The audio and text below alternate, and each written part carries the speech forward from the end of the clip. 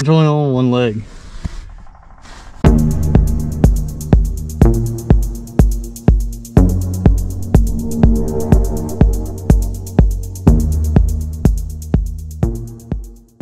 Alright, we're working on the Talon today. Uh, I read on forums like a while back ago before I bought the Talon that the universal joints on the front drive shaft uh, apparently worked themselves out and people have been putting like JB weld on them or just welding the end caps. So I figured uh, since I have a welder, I'll just weld the end caps. So I just put the ground on the drive shaft down here and then I already put one tack on one side. The uh, thing to this that you want to keep in mind is you don't want to get it too hot because then it'll burn up the grease inside of the U-joint. So tack it, let it cool off, tack another side, let that cool off, and then we'll have to put neutral to turn the drive shaft over so I can get the other two sides. You don't need much. All you need is like a little spot weld to just hold that end cap from coming out of there pretty simple. Um, you can easily do it with JB Weld, I think, if you just clean your area up good enough. Once I tack the other two sides, I'm going to take a little bit of paint and spray it on there to keep it from rusting. Guys, I'm an idiot. So, I thought if I just threw it in neutral, I could be able to rotate the drive shaft underneath it. You know, give her one of these. And uh, I put it in neutral and I couldn't rotate it. So I was like, all right, back tires gotta come off the ground. So I put these jack stands underneath the A-arms and I moved the jack to the back, which maybe I should start out with. I'm doing this on my trailer, which is on a hill. Yeah, that, that makes it, that makes it sketchy. So I jacked the back end up and then once I got the ass end jacked up, I remembered when I pulled it on the trailer, I put it in four-wheel drive and never took it out. It's still not disengaging. All right, so I guess you got to jack the ass end up. This is getting sketchy. That jack's only on, it's only on one leg. That one's on two. And I need to get it, I can't push it forward. All this to fix something that might not even break. All right, so I was able to get this tire to spin. I got the axle where I needed to go. I already climbed up and looked at it. So I think by the time I drop this down, I'll need to lift it back up and redo it all over again. Let's find out.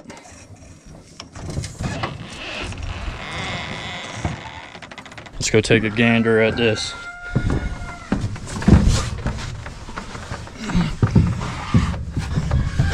Oh. Oh, beautiful. Check that out. Look at that.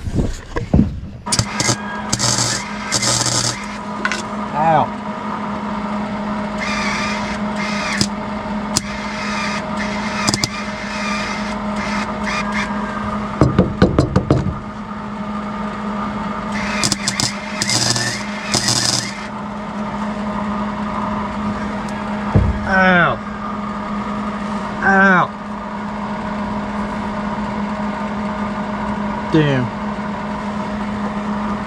This was a nice shirt.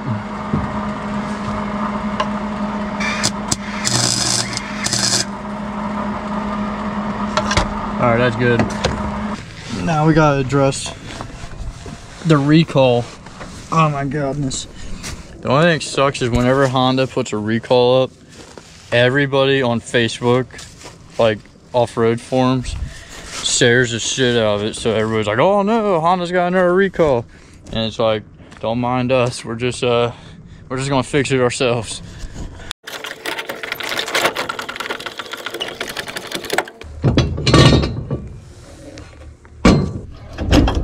Come on, you little bitch. Thank you. Three ton low profile jacks are the best ones to buy for working on anything. All right, now that the uh, Honda Talon decided to unload itself, making it easier to get into the back trunk area. I left it in neutral and it managed to roll over the 2x4 on the trailer. Anyways, still in neutral. We're gonna address this issue.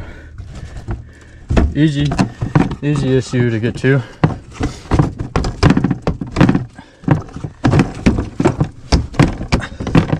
What is going on?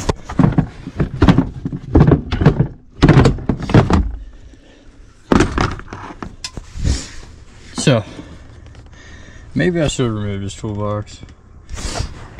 Let me remove the toolbox, and I guess I'll put it in park. Alright, I got the cap off of the intake. Uh, I, I just replaced this air filter. The recall is on a screw. I'll show you the screw in a minute. I gotta go grab a vacuum because a leaf just fell down into the air intake. Look at that. That's the leaf that fell down into my air intake. People hate these little DeWalt vacuums. I absolutely love this thing. Uh, the filter sucks because it's so small, but it does like the little jobs perfectly. So, so apparently this little screw right here is backing out and uh, somehow falling into the air intake. Mine seems really tight. Everything seems really tight.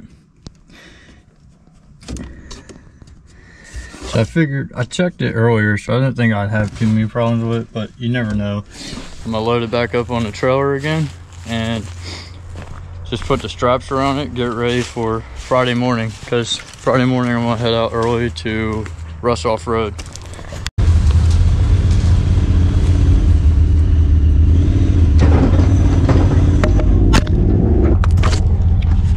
Damn.